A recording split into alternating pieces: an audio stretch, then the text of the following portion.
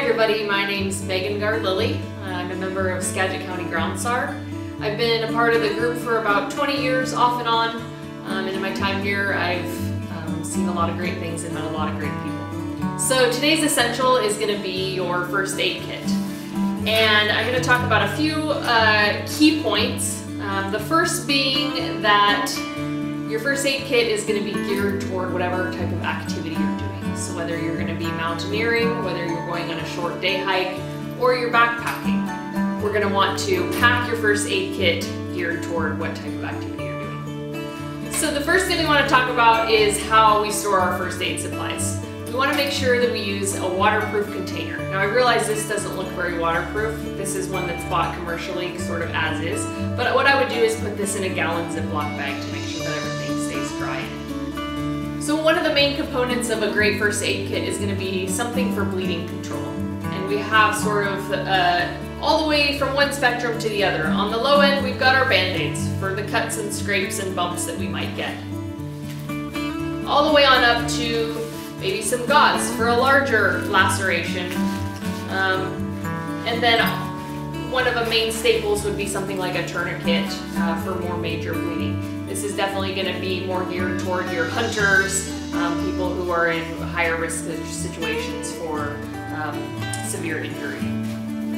The other key item I want to talk about in a first aid kit is mobility issues, whether that be blisters, a sprained ankle, or heaven forbid a broken leg. There's two ways to deal with blisters. One is prevention and the other is after the fact. Uh, with prevention, I use what's called Leukotape It comes in a roll.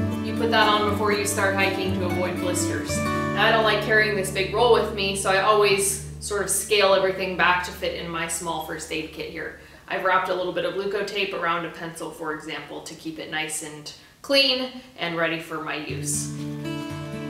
Some moleskin is great, especially once you start getting those hot spots. I always carry that in my first aid kit as well. As far as sprained ankles go and injured limbs, uh, we can do a lot with what we have sort of in our backpack and with our 10 essentials.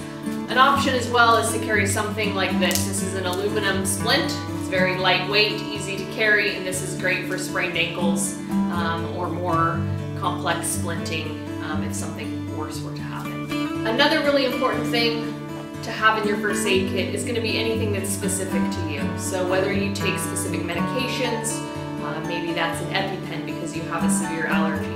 Maybe you um, take a medication orally every day that if heaven forbid something happened and you got stuck in the woods, you have that with you um, that you can take and make sure that you stay on track. Thank you for watching today. Hope you enjoyed and learned something about first aid kits. Always pack one with you.